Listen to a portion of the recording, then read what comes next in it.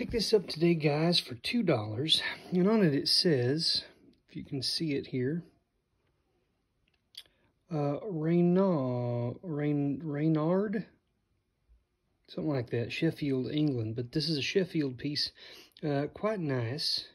And uh, it's a, some sort of a, a, meat slicer or a bread cutter or something like that. But it's got this nice uh, ivory, uh, ivorioid looking handle here.